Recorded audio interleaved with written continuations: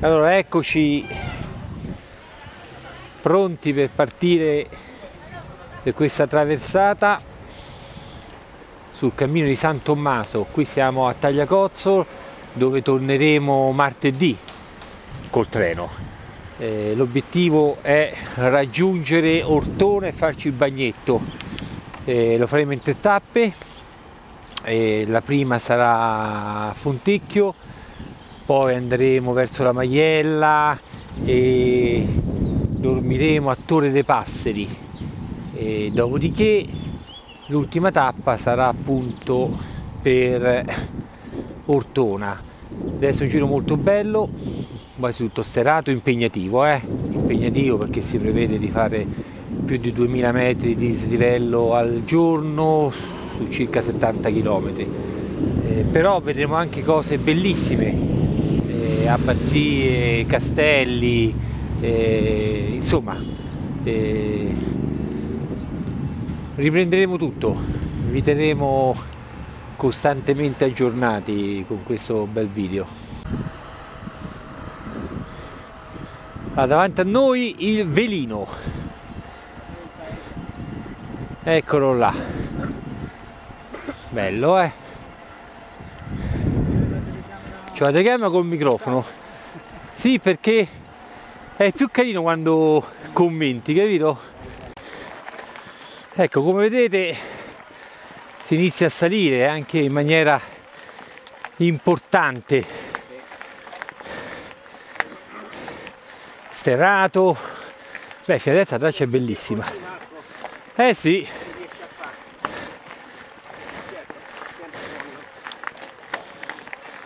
Ecco qua. Bella salitina, ma non finirà facil- rapidamente.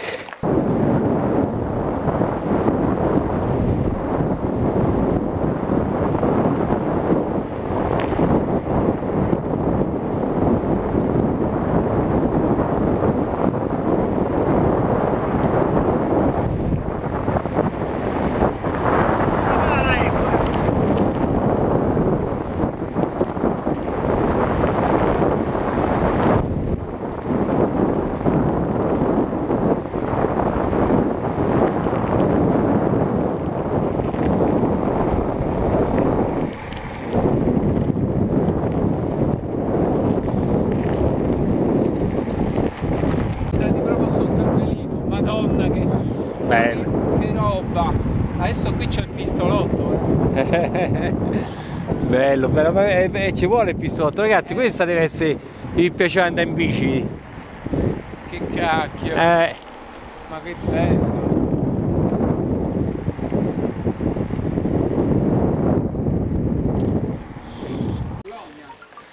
ah, ragazzi, guardate che castelletto, ragazzi.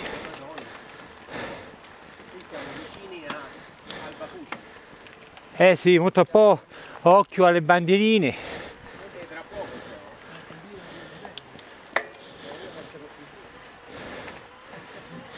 I piani palentini. Questi palentini, sì. Questi giù da piedi, spazio. Quello è il velino. Questo colle che vediamo qui davanti, appena piatto, anche un po' incavato, diet- appena dietro c'è Alba Fucens, dove dietro? andremo, noi Ah, adesso questo facciamo davanti, questo, questo davanti. colle qui Sì, sotto sì, sì, basso. sì, ok. Questo paese che invece vediamo lì in fondo è Magliano dei Marsi, noi poi Ah, giriamo lì intorno Quindi Marco non e era- poi andiamo ad Alba Fucens. Ma qui Per Education- Educational Challenge, sì, un giorno per la Teodori, Rai, è tutto. qui si è scritto una pagina importantissima della storia d'Italia. Cacchio, anche quelli che vengono dal sud queste cose le devono sapere. Eh, tipo, Cioè, dici? Cioè in pratica in questa, proprio in questa pianura, proprio dove vedete quel boschetto che adesso non c'è quasi più nulla, ci sono però dei ruderi, forse si intuiscono, dei ruderi di una chiesa antichissima degli anni 70 del 1200, fatta costruire dagli Angioini, intitolata Santa Maria della Vittoria, perché lì Carlo d'Angiò riportò la famosa vittoria contro Corradino di Svevia. poveretto, Normanno. poco più No, di Svevo, sì, Svevo. svevo, poco più che ventenne fu barbaramente trucidato, Ah, ok. ucciso a Napoli. Corradino di Svevia era quello che stava, sì. Corradino di Svevia, il quale si era, veniva da, da nord col suo esercito, si era accampato proprio dove Marco e Daniele hanno parcheggiato la macchina a Tagliacozzo. Poi, Ragazzi, qui siamo oltre, siamo proprio oltre, ragazzi. poi da Tagliacozzo, ma pure il... Sì, perché te invece col microfonino... no? Eh, da Tagliacozzo, eh, mentre Carlo d'Angiò si era asserragliato proprio col suo esercito appena dietro questo monte del- di Alba Fucens, Corradino di Svevia arrivò qua di mattina. Fu una vittoria come la lapidariamente descrive Dante nell'inferno, di là da Tagliacozzo, di là da Tagliacozzo vuol dire che la battaglia non è la battaglia, è, rino- è ricordata come battaglia di Tagliacozzo, però in effetti noi abbiamo già fatto quasi 10 km. Quindi ditemi voi quanto la devo fare No, no, lunga, va eh? bene. Perché posso La batteria, ho due a- batterie, ho due batterie. qui la giornata. Quindi di là da Tagliacozzo, eh, Dante stesso dice che fu una battaglia combattuta senza combattere, senza armi, perché fu una, un, eh, una vittoria eh, proprio Schiacciante. in base, sì, schiacciante, improvvisa, ma in base proprio ad un prodigio tattico di- degli angioini che allora lì c'è un torrente, proprio lì dove abbiamo visto il, il boschetto, c'è un torrente. Eh, Corradino di Svevia aveva alle spalle il, il canale, il fiume, il fiume e davanti aveva eh, schierato il- l'esercito dei Dangiò. Do- no, no, in- peggio hanno fatto perché in pratica eh, un- un- una parte dell'esercito di Carlo d'Angiò fece tutto un giro largo e lo accerchiò. Dopodiché ha finto, ha finto di ritirarsi, gli angioini hanno finto di ritirarsi e hanno portato allo scoperto la- le truppe di Svevo, degli Svevi, che si sono trovati il resto dell'esercito alle spalle e sono stati praticamente in poco tempo massacrati. Ti sono dimenticato il play, puoi ripetere? hanno riportato questa schiacciante sconfitta loro, vittoria degli Angioini, si sono presi il regno di Napoli e non. Corradino che fece preso, non. Come? Corradino fece. E Lo ammazzarono adesso se gli hanno tagliato la testa, può darsi. Insomma, lo hanno incarcerato a Napoli, eh, ma dopo pochi- poco tempo lo hanno ucciso. Che poi guarda che gli italiani alla fine, lui Ghibellino, antipontificio, alla fine gli italiani lo, lo ammiravano. Quando si racconta, le cronache del tempo eh, descrivono questa discesa dell'esercito di Corradino dalla Toscana, dall'Emilia, Toscana, l'Umbria, era un tripudio di festeggiamenti, cioè lo salutavano come un liberatore. Però qui ha sbagliato. I piani palentini, questo non c'entra ancora con la pianura di Avezzano, che la vediamo appena dietro di là, vedete? Appena dietro lì ci sarà la pianura di Avezzano, ma ci abbiamo modo e tempo per ammirarla. E questo è il velino. In quella valle lì 24 poi si sale 86. su verso Bene. Napoli, giusto? Sì, sì, sì, si può salire il velino da questo costone, dal costone una cresta, la cresta tra, tra le due valli, tra il velino e il Cafornia, c'è una, una valle e a, a sinistra c'è una cresta, si va su. Bene ragazzi, continuate a seguirci perché la prossima puntata parliamo di sesso, va bene? Alla, alla prossima.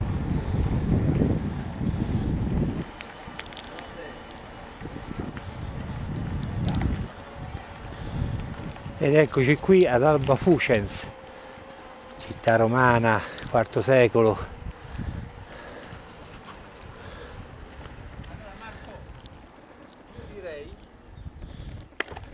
Su a San Pietro e Sì. facciamo il giro delle mura in bicicletta, Bellissimo. così lo pigliamo da dietro, Ok, entriamo proprio con le bici dentro Ok.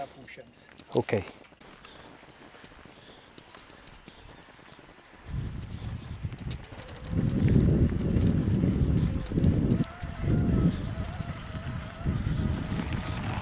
Praticamente questa è una colonia romana creata dal nulla. 6.000 coloni ci, ci misero. Siamo nel 310 a.C.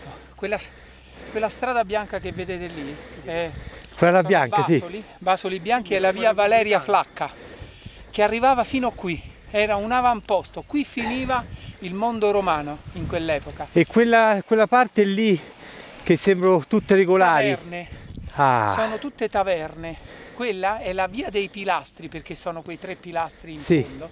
Ha dato il nome. È una strada, sono le vie principali della, della colonia romana. Vi dovete immaginare che, spettacolo. qui, da qui in giù era Roma, da qui in avanti era il Sannio, era l'Abruzzo selvatico e Roma costruì proprio, non si sa se arrivò prima la colonia o la strada.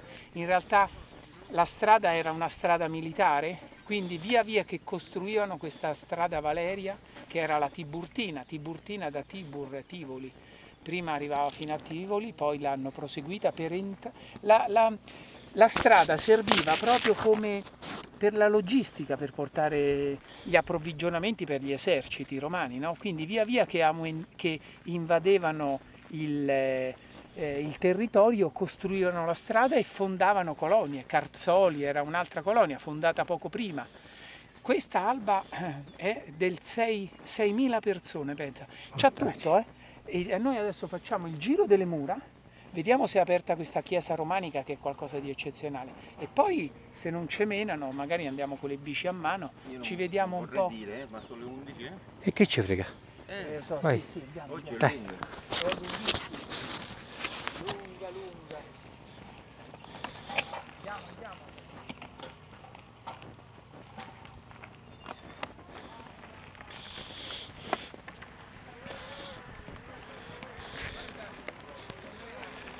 Sempre, come è sempre stato. Questo era un tempio, probabilmente un tempio dedicato ad Apollo. Vedi il basamento antico, sopra Ma- ci hanno, ci hanno Eh sì, costruito la chiesa romanica, tutta distrutta, poi rimessa su con nel terremoto del 15. Andiamo, facciamo, facciamo il giro di qua e poi... Dai, dai che... Dai che... ci abbiamo da fare un sacco di... Il programma è sfidante oggi. Mi fa paura questo. Che... Programma sfidante. Andiamo, andiamo, dai, qui manco Alberto Angela. Siamo tornati a... alle convention aziendali.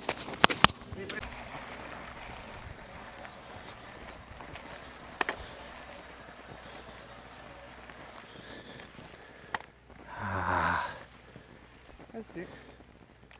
che spettacolo. Ma questo era proprio un anfiteatro. Più piccolino di quello che Sì. avevamo a Siracusa, però. Eh, beh, terzo, quasi quarto secolo avanti Cristo, vedi lì c'è l'ingresso. Sai che secondo me si riprende pure da là, si riprende, perché se lì la gente entra là, quindi andando più avanti si riprende.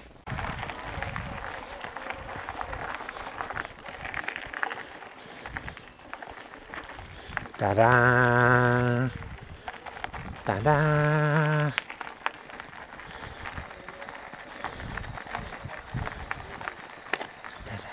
Vabbè. Eh papà? Ta-da!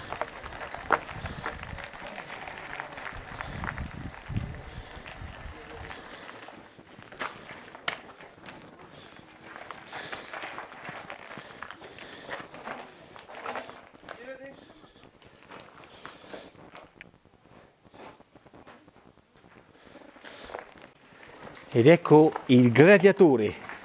Che non c'è Luca possiamo sparare un sacco di minchiate, capito? Ta-da!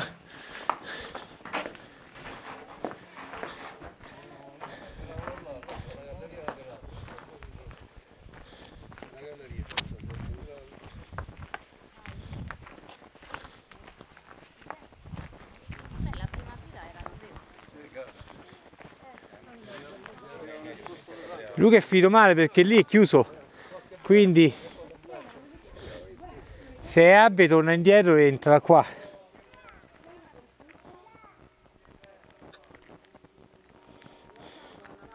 Aspetta, faccio una foto al barbaro, fermati, fermati, fermati.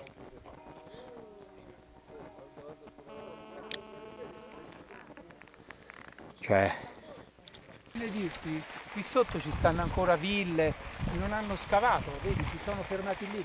Chi cazzo l'ha fatto il primo scavo di questo qua? I belgi, negli anni 50. allucinante. Dopo sono finiti, e qui hanno cominciato ultimamente a scavare, vedi questa tettonica? Sì, C'è una villa ma quindi ci saranno anche ritrovamenti di oro, giulielli, Eh, chissà, vasellami. Vabbè, bisogna vedere se non c'è stato prima depretati, sì. Sotto proprio il terreno no. Bisogna vedere quando, quando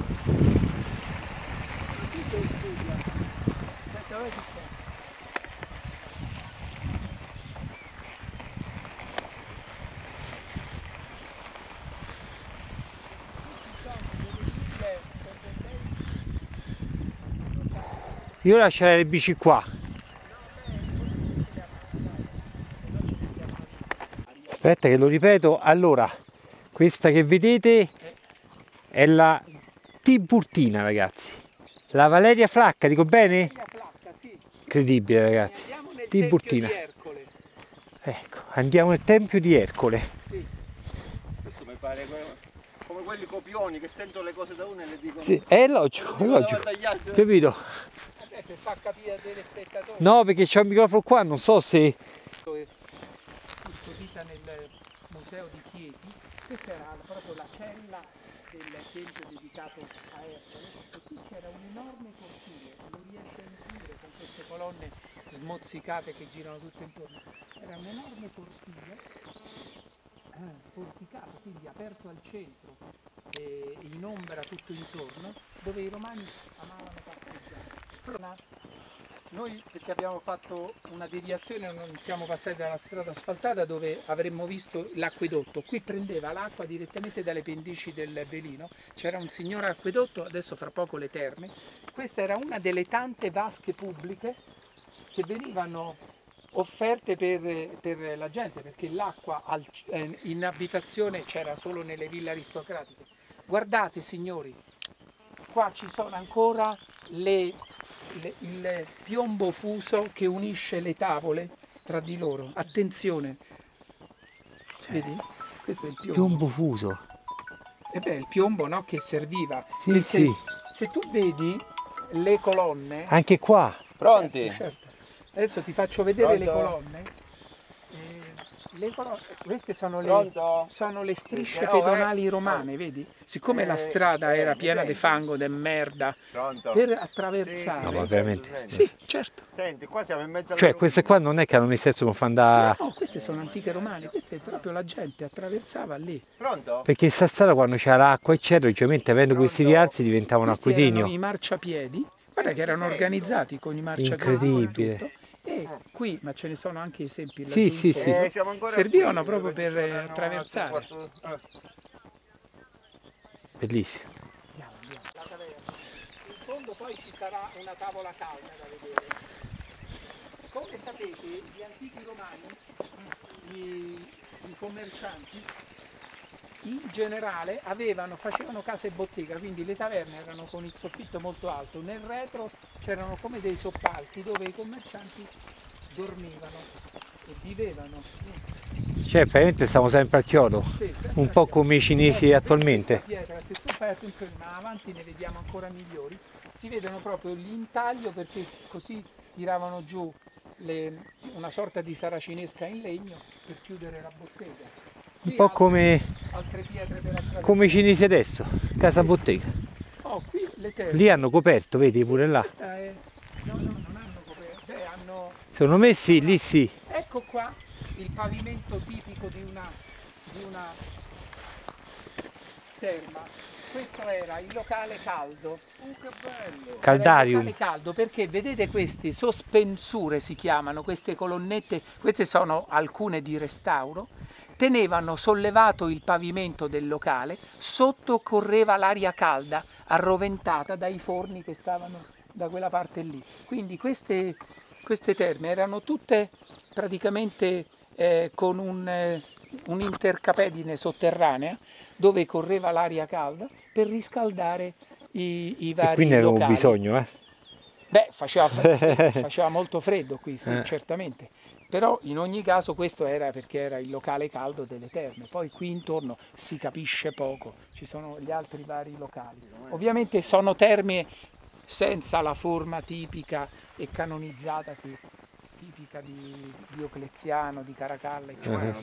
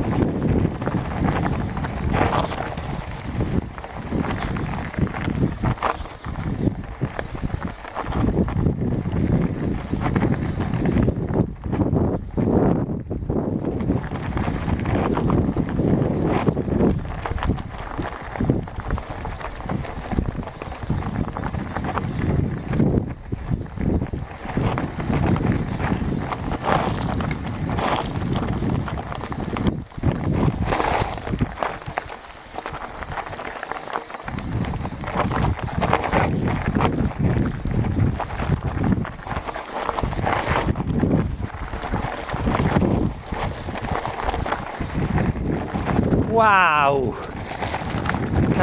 Ciao mucchina!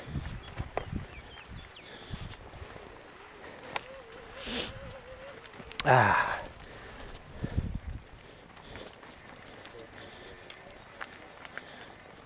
Ah, tanto noi dobbiamo arrivare a Urtuna. Tre giorni tranquilli. Chi ci ammazza? Eh. Che spettacolo Antonio!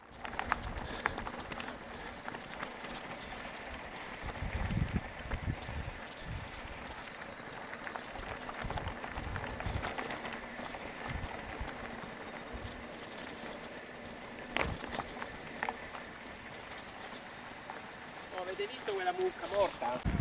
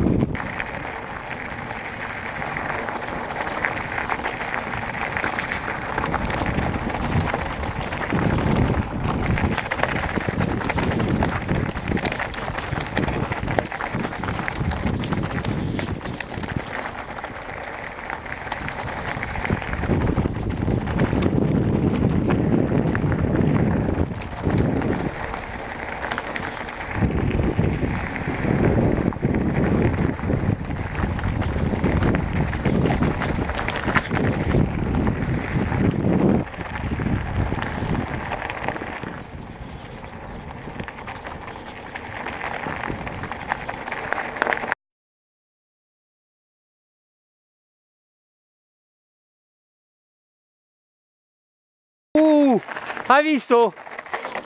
Un, cerpe- un cerbiatto. Cazzarola. Ma mi è passato a un... Che era? Due metri? Forse 5. Mamma quanto era grosso.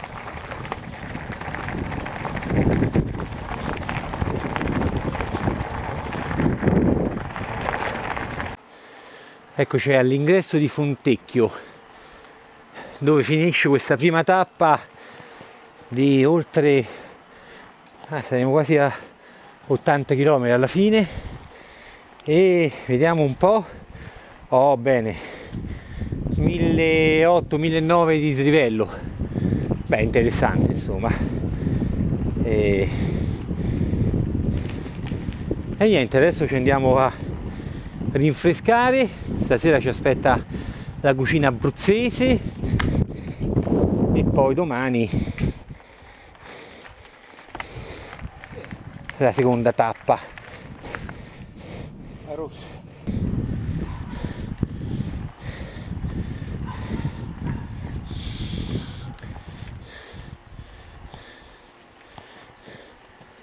Eccoci qua, guardate che bello questo borgo medievale, guardate che fontana, no no la fontana, la fontana merita, eh ragazzi la fontana merita, merita, io mi fermo a fare una foto, eh sì, ragazzi ci fermiamo e facciamo una foto a questa stupenda fontana. Eh, ragazzi, io sono ignorante e qui dico Fontana 1300 è uno degli esempi più belli di fonte monumentale di tutta Italia, con simboli matematici religiosi che adesso andremo a vedere. Eh, porto sti ignoranti nella cultura e eh, eh, andiamo, no? Eh, dove stanno? Dove stanno i simboli matematici religiosi? Come no? Ciccio? Tieni. Che- Guarda che bello qui, eh. E quella è la Madonna dell'uccellino. Dell'uccellino, perché effettivamente ci sarà un uccellino da qualche parte, che dici?